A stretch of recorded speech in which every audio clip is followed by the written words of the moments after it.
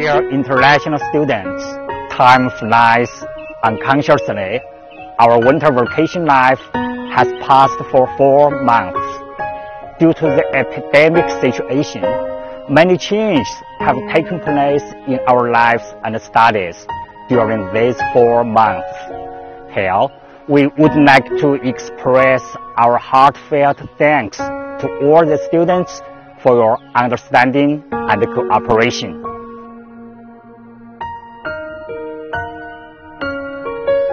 At present, the epidemic has been effectively controlled in China. The work and life of the Chinese people are gradually returning to normal under the strict prevention and control policy. And the university is also preparing to resume work. However, as the international epidemic is still developing, the time for international students returning to China is temporarily uncertain. So we hope that all students will continue to wait patiently and cooperate actively with online teaching and other related work to minimize the impact of the epidemic on us. Many changes took place in our campus during this special winter vacation. The withered and yellow trees in winter have become lush and green for a long time. The row of buildings under construction in front of Huiwen building has also sprung up like mushrooms and has suddenly appeared in front of people. The scorching heat of summer replaces the gloom of winter and everything on campus is full of vitality. Looking at the changes in the campus, we can't help but think of your lovely figures.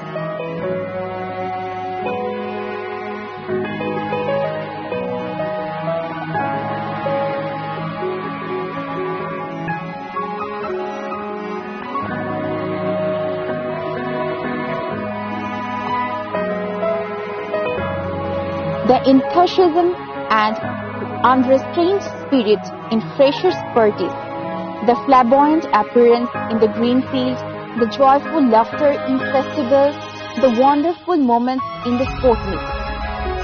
Since the outbreak of the epidemic, coordinators have always been on the front line of management, insisting on daily reports and zero reports, maintaining daily contact with you and repeatedly emphasizing the importance of personal protection, answering questions arising from sudden outbreaks, and relieving everyone's mood.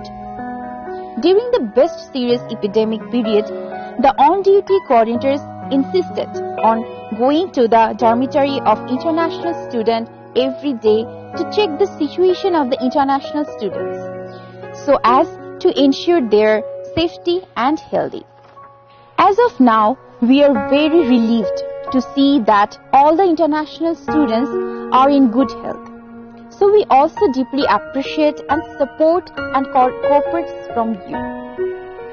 We hope that in the upcoming days, while doing well in epidemic prevention and control, everyone will insist on learning knowledge according to the arrangement of the university so as to realize your doctor dream as soon as possible and serve the health of all humanity in the future.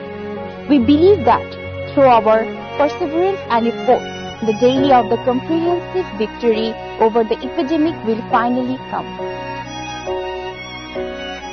Last but not the least, we wish you and your families are in good health, and the university looks forward to the day you return safely. We look forward to your glorious appearance on campus again.